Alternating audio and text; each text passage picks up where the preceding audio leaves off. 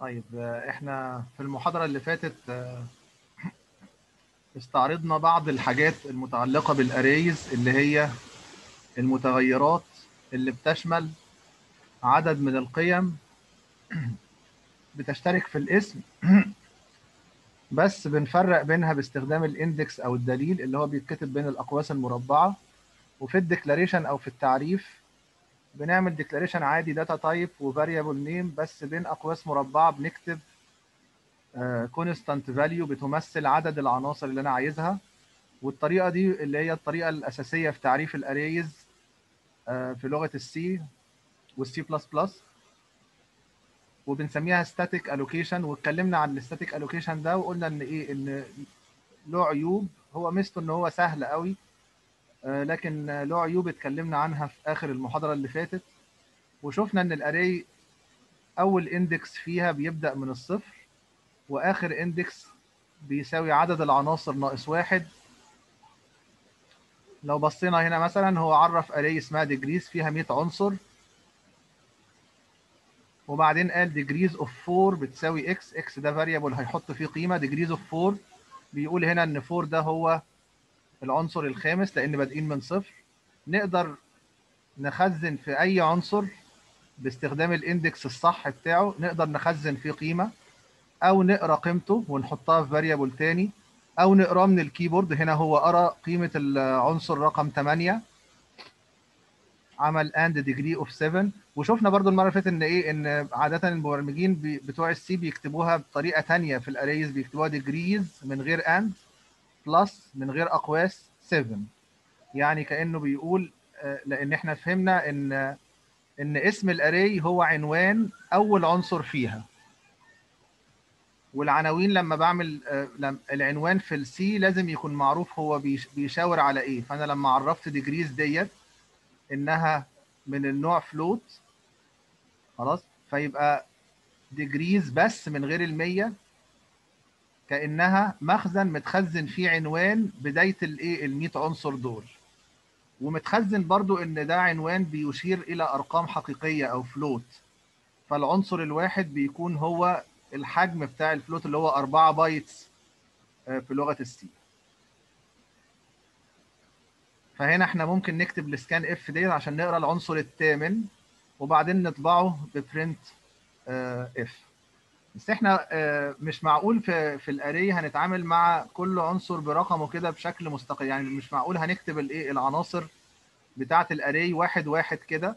فدايما ال array مرتبط بإيه؟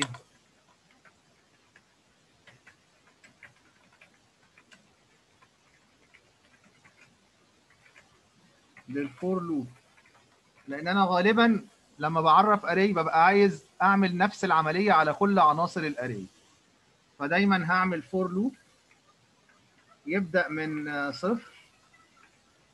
ويبقى أصغر من مثلا ال size أو ايا كان حجم أو عدد عناصر ال array بتاعتي. ويزيد بواحد. فهنا الكود اللي هيتكتب هنا each iteration uh, sorry handles one array element. يبقى في اللفة نمرة zero. هنتعامل مع ال array element نمرة zero. يعني أول عنصر هنقراه مثلا أو هنعمل له processing أو هنكتبه. خلاص إحنا طبعا زمان اتعلمنا إيه؟ إن أنا عندي data input أو reading data وعندي processing عندي validation طبعا. عندي processing عندي outputting of results. فكل خطوة لو أنا ال data بتاعتي عبارة عن array كل خطوة منطقية عايز أعملها على كل عناصر ال array في لغة السي هكتبها جوه for loop تمام؟ فلو بصينا هنا بيقول أنا عايز أعمل برنامج يخزن ويطبع درجات 10 طلاب 10 طلاب دولت كلهم نفس النوع نفس المعنى. فهنعمل لهم array فعمل لهم array اسمها float degrees of 10 وبعدين عشان يقرأ القيم من الكيبورد عمل for loop اهي تلف من صفر ل 10 لأن هو عايز هنا يعمل برنامج ل 10 إيه آه طلاب. تمام؟ ما عملش هنا define ل size عملها 10 10 10 كل ما يحتاج هيكتبها وإحنا عارفين إن إيه إن ده مش حاجة مش أفضل طريقة للكتابة يعني. فهنا هيلف 10 لفات عشان يقرأ ال 10 درجات بيقول له دخل درجة الطالب نمرة واحد واتكلمنا المرة اللي فاتت إن إحنا نحاول نخلي ال interface بتاعنا يبدأ من واحد لكن هنتعامل مع ال array إنها بتبدأ من ال zero. بعد ما لفينا ال 10 لفات دول بقى ال 10 أماكن اللي في ال degrees اتملوا بالقيم آه بتاعة ال 10 درجات. كده عملت storing ليهم اللي هو أول مطلوب عندي. المطلوب الثاني إن هو عايز يعمل printing ليهم على الشاشة. فعشان هو هيطبع 10 قيم.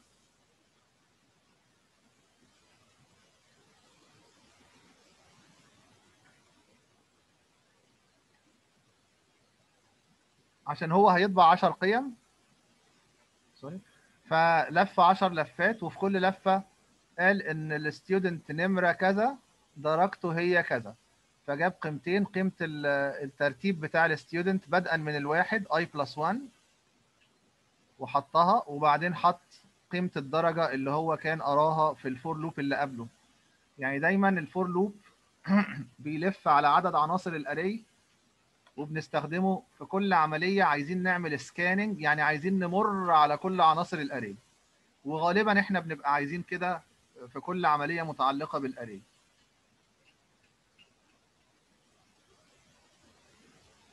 طيب. طيب هو هنا بيدينا بقى شوية specific features في ال syntax بتاع ال arrays في لغة السي فبيقول إن أنا ممكن وأنا بعرف ال array ا initialize القيم بتاعتها. يعني هي بيقول هنا أنا عرفت ال array اللي اسمها degrees of 10 ومعايا لسته بالقيم ال initial values اللي تتحط. هو لغة السي مش بت initialize ال arrays تمام؟ يعني أنا لو عرفت array هو. من 10 قيم هنا هي مهمة ال compiler إن هو هيجيب لي 40 لأن هي float 10 يعني 40 بايت فمهمته إن هو يجيب لي 40 بايت ورا بعض في ال memory ده شرطها. شرط ال array إنها لازم يكونوا ال 40 بايت آه يعني من وجهة نظر المبرمج يعني في ال programmer view يكونوا ورا بعض في ال memory. طيب مش آه علشان يبقى الكلام الدنيا تبقى سريعة فال compiler مش هيخش بقى على كل element ويعمل له initialize زي ما معظم لغات البرمجة بتعمل. هيجيبه لي وخلاص وهيبقى دور المبرمج إن هو ما يستخدمش ال array elements دي قبل ما يعمل لها initialization لو أنا عايز أفرض قيم ابتدائية للعشر عناصر بتاعتي فممكن وأنا بعرفها أعمل زي ما هو عامل في ال example ده أقواس المجموعة أو ال set brackets ديت وأحط العشر قيم بتاعتي مفصولين بال comma. يعني comma ليست محطوطة جوه أقواس مجموعة. دي في لغة ال C هتخلي ي initialize كل element من ال degree بدل ما أكتب بإيدي degrees of صفر بتساوي كذا degrees of واحد بتساوي كذا وهكذا وبعدين بيقول أنا مش محتاج أصلا أكتب العشرة ديت لأن هو يقدر يعرفها من عددهم. مش كده؟ فبيقول إن أنا ممكن أكتب float degrees وإحنا بنستخدم دي في ال strings زي ما هنشوف بعد كده يعني.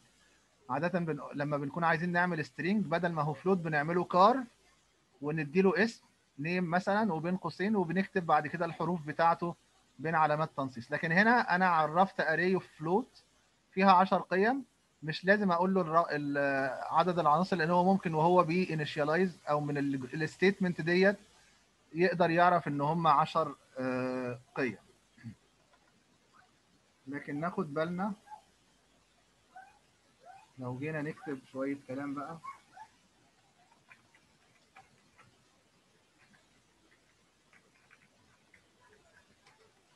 أنا لو جيت عرفت بالطريقة اللي هو عملها ديت أنت مثلا values of 10 طبعا أنا لو عملتها كده أنا عرفت array فيها 10 قيم. طب لو أنا جيت قلت له print if وحاولت أطبع أول قيمة فيهم.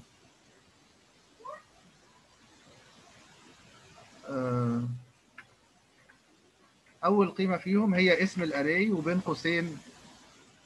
هنكتب ال index zero.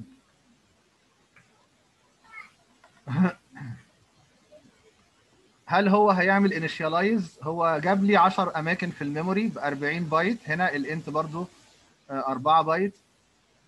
لو جيت طلبت منه إنه يطبع هو طبعا لاحظت هنا إن هو بيطلع run time error بس إيه؟ في حاجة غلط أصلا؟ إيه الغلط هنا؟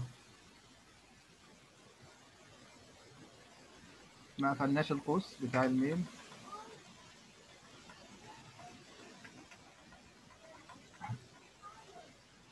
فهو هنا لما طبع لي طبع لي رقم غريب شوية. لأنه ما عملش initialize هو حجز لي فعلا 10 أماكن في ال memory. طلع لي الأول رسالة كده بيقول لي أنت مع بتستخدم حاجة قبل ما تعمل لها initialize وده طبعا إحنا قاصدين نشوف بعيننا إن هو ما عملش initialize طيب لو أنا جيت هو بيقول لي أنت ممكن تيجي هنا تكتب في أقواس مجموعة.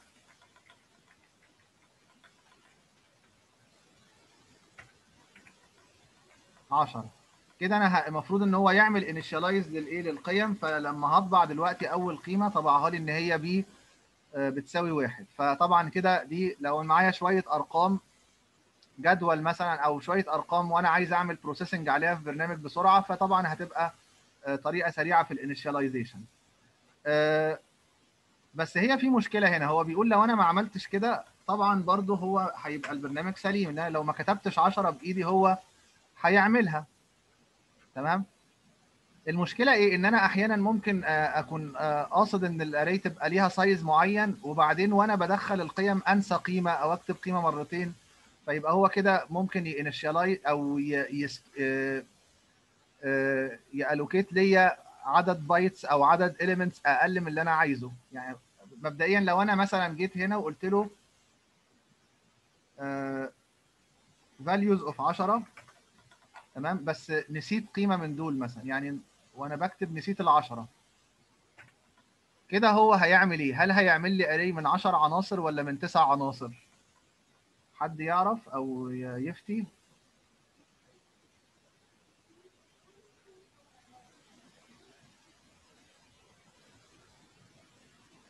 أنتوا سامعيني ولا؟ اتفضل. هو يا دكتور هيعمل اري من 10 عناصر في ال memory نفسها بس هيسجل تسعة بس. والعاشر هيعمل فيه إيه؟ العاشر هيبقى رقم زي كأنه مش معمول له انيشاليزيشن أساسا. هي حلوة الفتية يعني كويس بس إيه مش مش مظبوطة 100% هو العاشر هيعمله بصفر. هي من ال... من الحاجات اللطيفة في ال C إن أنت لو جيت عملت كده بس فتحت قوس وقفلته بس اتاكد عشان إيه؟ ساعات أنا بخلط الحاجات في بعضها يعني. هي initialize كل حاجة بصفر. يعني إحنا كتير من الأوقات بنبقى عايزين ن initialize ال array ب zero. يعني ده دايما ال initialization ده بيكون شائع قوي إن إحنا بنحتاجه. نحط إحنا بإيدنا صفار بدل ما يبقى فيها قيم إيه آه فبدل ما أنا أعمل for loop وألف على ال 100 عنصر أو ال 1000 عنصر أو ال number of of elements اللي عندي واحط بايدي equal 0 equal 0 equal 0 لو أنا بكتب C أو C plus plus طبعا ممكن أفتح قوس وأقفله أو أو عشان ال readability أحط فيه zero كده. خلاص؟ فده معناه إيه؟ إن أنا بقول له لو ما عملتش حاجة خالص مع إن أنا بقول له initialize كله بصفار هو ما فيش حاجة أنا اديتها له عشان ي initialize عليها. طب لو قلت له كده مين عايز يفتي؟ هيعمل إيه؟ هتبقى أول عنصر بس اللي بواحد والباقي بصفر برافو عليك. يبقى هنا هو مش هيعمله كله بوحايد بقى لا هيعمل أول عنصر بواحد وبقية العشر هو طبعا ال ال المعيار عنده هو السطر بتاع التعريف ده اللي هو values of 10 طالما أنا قلت له 10 هنا يبقى لازم يعرف 10 عناصر. مش هيتلخبط ويقول ده كاتب لي رقم واحد يبقى أعمل له اري فيها عنصر واحد يعني. فهو هيعرف اري فيها 10 عناصر زي ما أنا طلبت. وبعدين هيلاقيني اديته 1 initial value فهيحطها في أول عنصر. خلاص والباقي هيحط فيه إصفار. برضو عشان نتأكد إن التاني اتحط فيه صفر لو أنا جيت كده وطلبت منه يعرض لي العنصر الثاني وشفت ال array دي فيها إيه دلوقتي فأول عنصر حط فيه واحد وتاني عنصر حط فيه آه صفر. وعشان برضو نشوف مع بعضنا كده طب طب هل هو عمل يعني مثلا لو جبنا آخر عنصر خالص اللي هو values of كام؟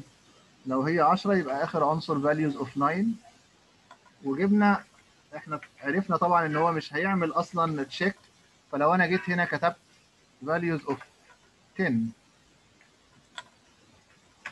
هلاقي إن هو أول عنصر عمله بواحد والتاني بصفر وبقية ولغاية آخر واحد خلاهم صفر. خلاص. ولو أنا رحت لحاجة بره ال array هو أصلا مش يعني هيجيبها لي عادي هيجيب لي هيجيب لي الأربعة bytes اللي بعد آه، الحدود ال array بتاعتي وهيترجم الرقم اللي فيهم أو الوحيد والاصفار ل whatever integer value تكون متخزنة فيه. لكن هو هنا ما فيهوش أصلا قيمة ليها معنى فجاب لي كده إيه رقم عشوائي شوية. تمام؟ فيبقى هنا ال initialization أنا صحيح ممكن ما أكتبش لو أنا ما كتبتش طبعا يبقى كده هيعرف لي على حسب عدد الأرقام اللي أنا آه، عملتها جوه. كده كأنه لو أنا كتبت له واحد اتنين تلاتة من غير آه، من غير ما أقول له هنا كام عنصر كده هيعرف لي array فيها ثلاث عناصر بس. لكن لو أنا قاصد إن هم يكونوا 10 وأنا ه initialize ثلاثة بس منهم يبقى إيه؟ يبقى هكتبها كده وهو هيحط في بقية العناصر السبعة zeros initially تمام؟ هو هنا بيقول لو أنا بقى بحسب ال polynomial ده أو المعادلة ديت عند قيم مختلفة لل x 5x square plus 3x plus 2 عايز أحسبها كذا مرة عند كذا قيمة لل x خلاص؟ فبيقول من غير ال arrays أنت هتقعد تكتب كل قيمة لل x وتكتب المعادلة. وإحنا ما نعرفش طريقة أفضل من إن إحنا نكرر كده الكود. تمام؟ وده ده اسمه redundancy إن أنا كود بعمله بال copy paste يعني عملت أول ثلاث سطور دول وعملت لهم copy وعملت لهم paste كذا مرة. ده في لما بعمل كود فيه copy paste كده يعني ب- بنسخ أجزاء من الكود وأحطها في حتة تانية ده اسمه redundancy وده من الحاجات اللي إحنا بنحاول نتجنبها آه، في الكود بتاعنا. يعني أي مرة أنت بتكتب كود تلاقي نفسك خدت كتبت أربع خمس سطور وجيت خدتهم copy وعملت لهم paste تاني تعرف إن أنت لسه في إيه في آه، تحسين في طريقة الكتابة ممكن تعمله يعني. سواء باستخدام آه، إن إحنا نستخدم functions أو classes أو نستخدم arrays هنا لأن أنا عندي نفس العملية بتتكرر تمام؟ بس على أرقام مختلفة. فهي كانت مشكلته هنا إن إيه مرة عايز عند ال x بخمسة يحسب عند ال x ب 16 يحسب. لو حطيت الخمس أرقام دول أو أي ايا كان عدد الأرقام اللي عندي في array هقدر أعمل for loop تلف عند كل قيمة مختلفة لل x وتحسب آه، قيمة ال f of x عند القيمة اللي إحنا ماسكينها. فهو ده برنامج صح بس مش مكتوب حلو. لو قعدنا كتبته عرفنا هنا variable اسمه x عبارة عن array فيها الخمس قيم بتاعه ال x اللي أنا عايزها. وعرفنا y ولفينا خمس لفات لأن إحنا عايزين نمشي على كل قيمة من قيم ال x دولت ونحسب عندها قيمة ال y فهنا مسكنا قلنا ال y بتساوي 5 عند ال x اللي إحنا عندها اللي أول مرة هتبقى 0 x of 0 يعني أول عنصر هنضربه في بعضه وبعدين في 3 في العنصر في 2 يبقى كده حسبنا قيمة ال f أو قيمة ال y عند الخمسه وهنطبعها على الشاشة وبعدين نلف نحسب قيمة ال y عند ال 16 ونطبعها وبعدين نلف نحسبها. يبقى كده إحنا عملنا scanning مشينا على كل العناصر بتاعة ال x وعملنا processing إن إحنا كل مرة حسبنا قيمة ال function أو ال y أو ال polynomial بتاعنا اللي هو من الدرجة الثانية ده وطبعنا آه، قيمته. يبقى عملية ال- ال- المرور على كل عناصر ال array باستخدام for loop دي لازم تبقى حاجة أساسية في دمنا يعني. يعني حاجة هنستخدمها ملايين المرات يمكن في حياتنا لو كملتوا في الشغلانة دي. سواء طبعا بلغة ال C أو غيرها من اللغات اللي هي بتستخدم ال loops بنفس الطريقة يعني. خلاص؟ والعملية ديت عملية linear يعني لو عدد القيم بتاعة ال x ديت بدل ما هو 5 بقى 50 ال time complexity بتاعتنا هتتضاعف بشكل خطي. فدايما عملية آه، التعامل مع array 1 dimensional array كده يعني array في بعد واحد شوية أرقام جنب بعض هو عملية ال complexity بتاعتها زي ما خدناها قبل كده آه، اتكلمنا قبل كده على موضوع ال O of n يعني each ال operation ديت اللي إحنا عاملينها فوق ديت ال complexity is O of n. يعني حسب حسب ال size بتاعنا. ال size بتاعنا لو تضاعف ال complexity هتتضاعف. لو ضربنا ال size في 10 ال complexity هتتضرب في إيه في 10 ودي complexity خطية. بشرط إن أنا أكون بمشي على الايه على العناصر عنصر إيه عنصر. لو أنا آه، بعمل عملية بعمل processing على array وما كنتش عامله كويس بقيت أمشي على ال array كذا مرة أ scan ال array كذا مرة هنبقى خرجنا من ال complex ديت ل complexities أعقد اللي هي O n square و O n تكعيب وأنا هحاول اديكم examples على ديت على الحكاية دي. تمام؟ طيب إحنا العمليات البسيطة بقى بتاعه ال processing إحنا فاهمين إن كل عملية على عناصر ال array هت- هتمر عبر for loop فإحنا اتعلمنا قبل كده إزاي نجمع نجمع إن إحنا نعرف variable اسمه sum ونبداه بصفر. هنا ال for loop ديت لأن في تو initializations غير إن الاي ال index بصفر. كمان السم بتساوي صفر. مش لازم نكتبها هنا طبعا ممكن كنا وإحنا بنعرفها فوق نكتب إن هعرف variable اسمه sum بيساوي صفر. وهلف. وفي كل مرة هزود على ال sum ال sum plus equal يعني السم ضيف على السم قيمة ال array بتاعتي عند ال index i فيبقى في أول لفة هيمسك ال 75 ونص ديت يضيفها على السم ويلف. في اللفة الثانية هيمسك ال 88 يضيفها على السم ففي نهاية ال loop ده اللي هو لف 10 مرات لأن عندي هنا 10 عناصر هيكون السم ده فيها مجموع كل العناصر بتاعه ال array بتاعتي فتجميع عناصر array ديت في مخزن دي عملية very trivial يعني عملية بسيطة جدا وأساسية وهنحتاجها كتير.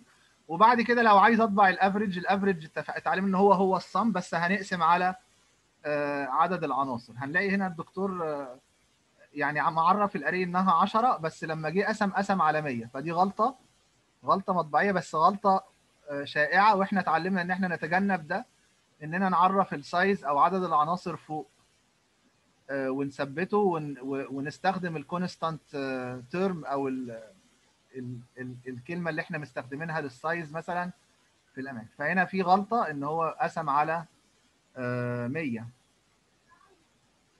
وليه عرف ال sum هنا float مش int علشان العناصر float. حتى لو كانت int كنا برضو هنحتاج إن إحنا ناخد بالنا وإحنا بنقسم عشان ال average يبقى مظبوط.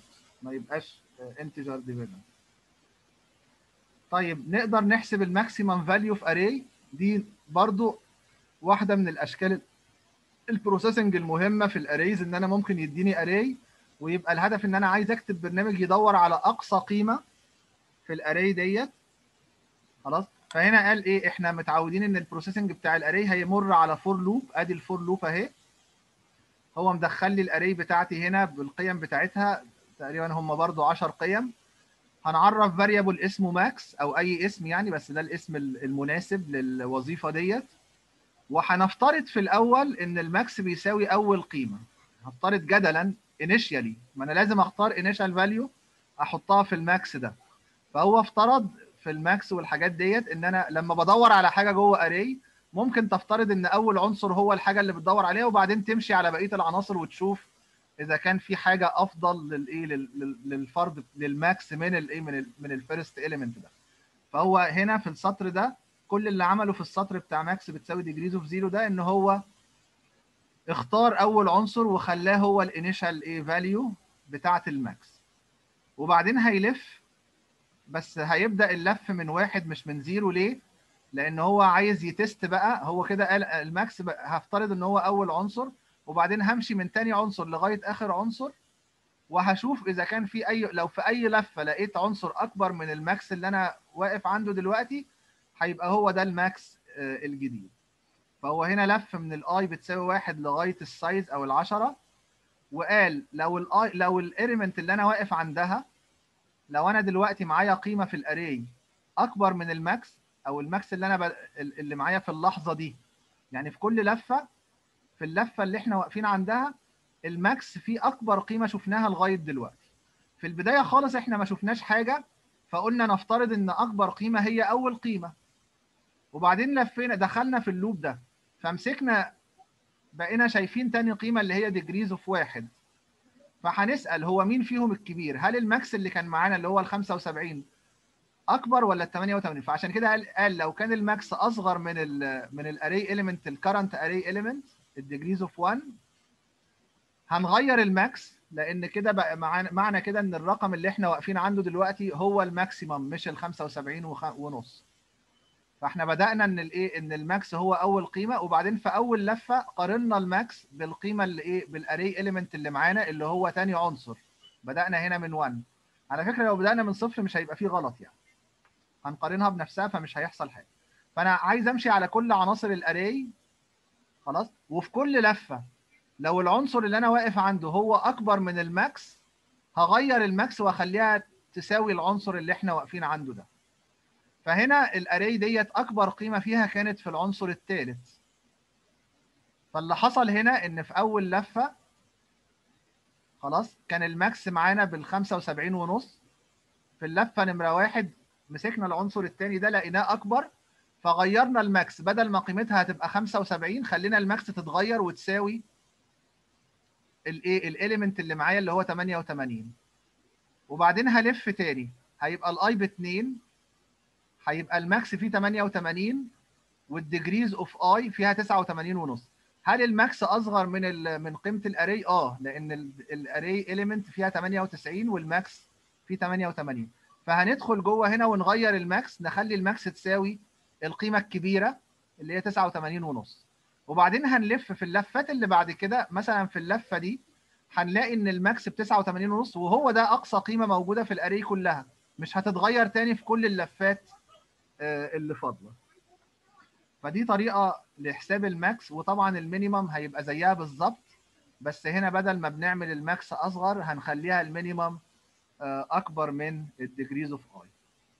هل واضحة ال example ده واضح؟ إزاي حسبنا ال max وال min؟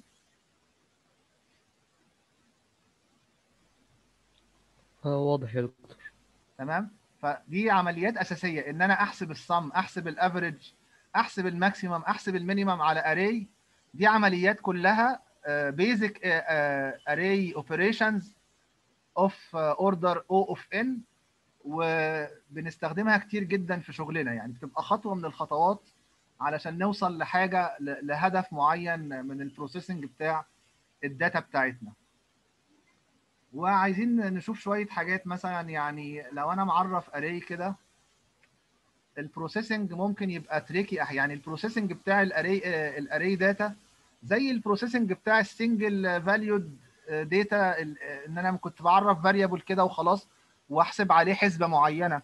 ساعات بتبقى ال- الموضوع straightforward وسهل وساعات بيبقى tricky أو في شوية تفكير أو في خطوات صعبة. فإحنا لازم نركز دايما إحنا بس فاهمين الأساس إن إحنا لو هنعمل عملية محتاجين فيها نبص على 10 عناصر مثلا بتاعة ال array ديت فأنا هستخدم for loop وأنا مغمض وبعدين هفكر إيه اللي هكتبه جوه ال for loop ديت. طيب تعالوا نشوف يبقى أنا عندي مثلا لو افترضت إن أنا أول step عندي إن أنا هقرأ نفترض إن أنا عايز أعمل برنامج آه نختار كده أي حاجة مثلا program to count ال counting برضو من العمليات الأساسية إن إحنا نعد count number of failing students. يبقى لو أنا معايا هنا degrees وهنعرف مثلا إن أنا كأن عندي مثلا 100 طالب فأنا هعرف إن أنا عندي درجات طلاب وعايز أعد كم طالب فيهم ما نجحش. يعني الدرجة بتاعته ال degree بتاعتي أقل من مثلا هفترض إن الأرقام بتاعتي من صفر ل 100 فهفترض إن أنا لو لقيت حد درجته أقل من 50 يبقى ده failed فأنا عايز أعد كام واحد failed ال counting برضو عملية أساسية زي السم وزي ال maximum وزي ال minimum والحاجات اللي إحنا شفنا ال examples بتاعتها دلوقتي في الكتاب. فده هنضيفه ليهم لأن ده لازم ن... ما ينفعش حد فينا مثلا نسأله اعمل يعني نديله array ويبقى مطلوب يعمل counting ويقول مش عارف إزاي تتعمل قوي دي حاجات لازم تيجي في مخك على طول وتتعمل من غير تفكير يعني. خلاص؟ فإحنا هنفترض إن أنا هقرأ القيم وبعدين عايز أعمل processing اللي هو يعمل الحاجة المطلوبة ديت. وبعدين ممكن أنا هنا طبعا مش هط... مش هطبع الق- القيم بتاعة ال array تاني بس آه، هطبع ال output اللي مطلوب اللي هو عبارة عن قيمة واحدة اللي هي عدد الطلاب اللي إيه اللي ما نجحوش. فأنا ح... عشان هقرأ كل ال array بتاعتي فأنا هعمل for loop ال i في مثلا بتبدأ من الصفر ولغاية ال size.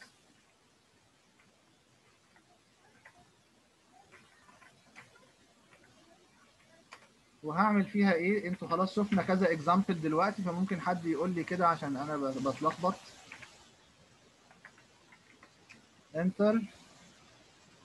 Uh, degree of student. اكتب هنا إيه جنب student هقرا درجة تاني integer.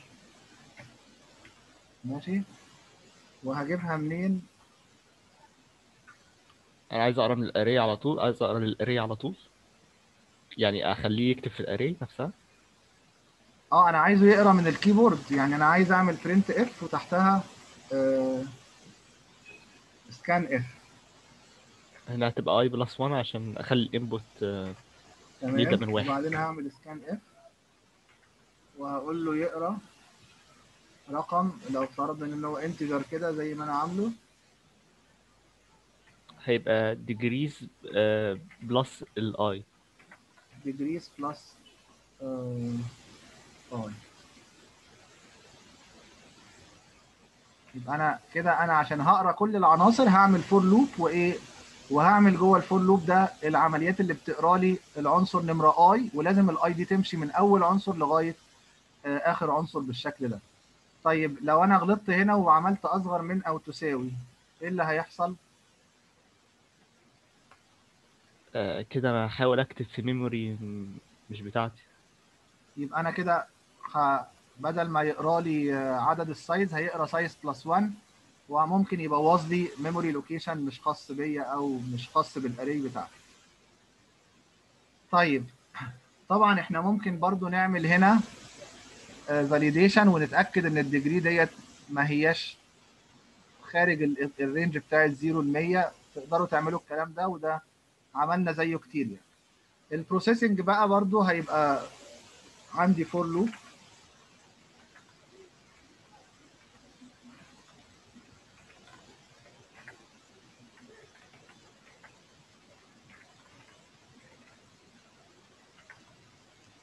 ال counting ال counting نعمله إزاي؟ ال counting بنعرف variable اسمه count وبنبتديه بصفر.